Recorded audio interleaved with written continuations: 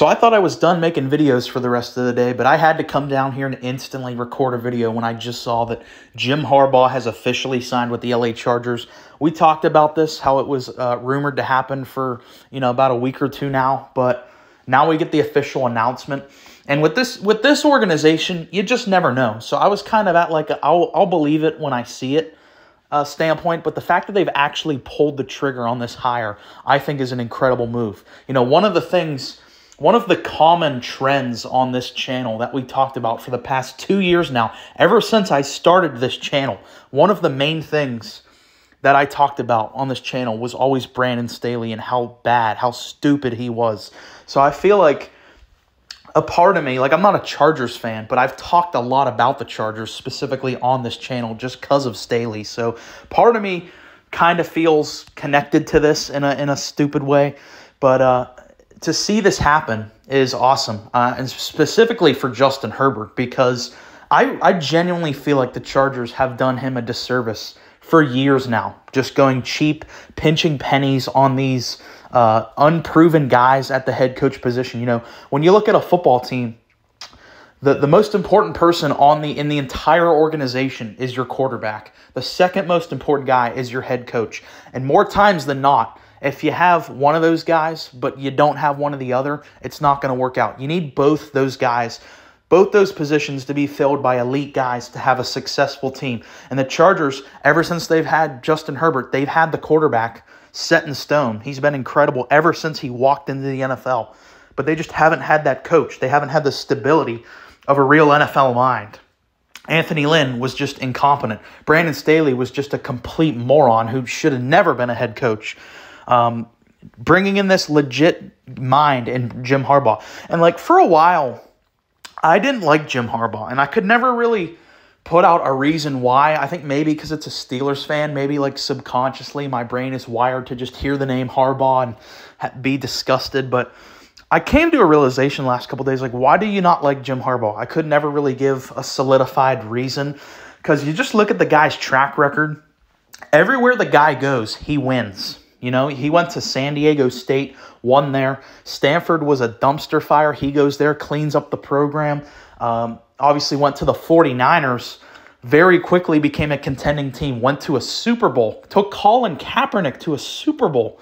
And Michigan completely turned that program around. I know it took a while, but in the past like two, three years now, Michigan has owned Ohio State. And obviously getting the natty this year. Like, he just has a proven track record of basically anywhere he goes instantly is going to be a good team and is going to be in the mix to compete for a championship.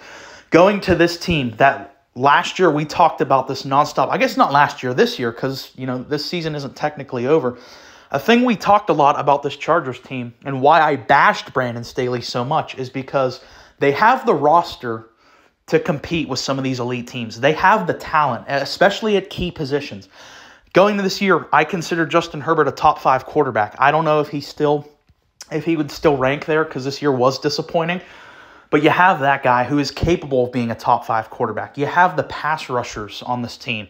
You have elite secondary players like a Derwin James Jr. and Asante Samuel, I like a lot. You have the skill position players at receiver, running back. Like every major position the the box was checked. So I was like, even if you're like just an okay head coach, you should just be able to figure it out. And that's why I was so hard on Brandon Staley on this channel, is because when you have that much talent, when you have that quarterback, I'm not giving you a pass. You don't get an excuse to fail.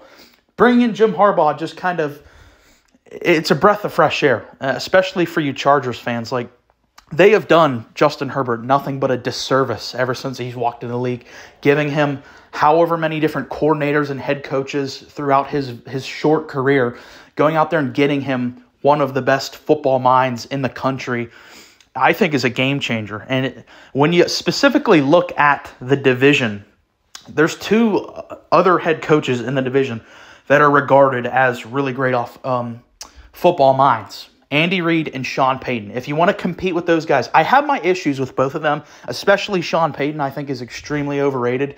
But they, they, those two guys obviously have a long track record of sustained success as well. You want to compete with those guys, especially with Reid having Mahomes. You need to go get out there and get a guy on that level. And I think, especially after winning a natty, Jim Harbaugh is on that level. And I think if he wins a Super Bowl, he could definitely cement his legacy as one of the best football minds ever. Um, just for how he's able to turn programs around so quickly. Um, so I think this is such a a breath of fresh air.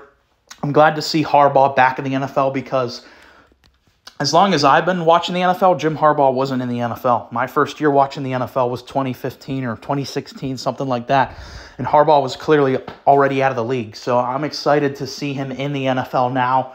And uh, I just think this is a great move for the Chargers because historically they don't pay for coaches. So great step in the right direction. I definitely think the Chargers.